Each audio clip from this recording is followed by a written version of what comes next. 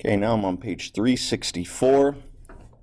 Let's look at here. They're comparing these um, an equation to cause and effect in reading, and they are very similar. So the reading skill cause and effect can help you understand how a change in one variable may cause a change in another variable.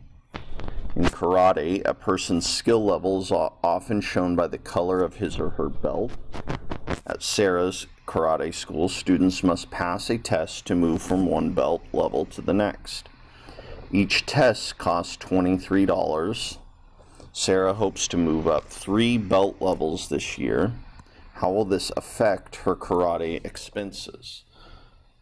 Okay, so um, with cause and effect, think of the cause. Sarah moves to higher belt levels. Because Sarah moves to higher belt levels, Sarah's karate expenses go up. Okay, I like to think of it as because and effect. Because Sarah moves to higher belt levels, it's going to cost her more money because each time she wants to move to a higher belt level, it costs $23. Write an equation to show the relationship between cause and effect, then use the equation to solve the problem.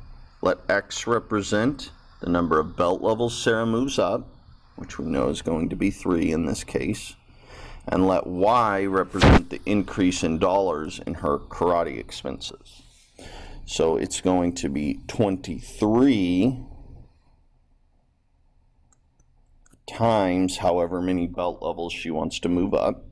Sarah plans to move up three levels, so we're going to replace a x with a 3, 23 times x, and then we're going to solve. So 23 times 3, 3 times 3 is 9, 3 times 2 is 6, so it will increase her cost by $69.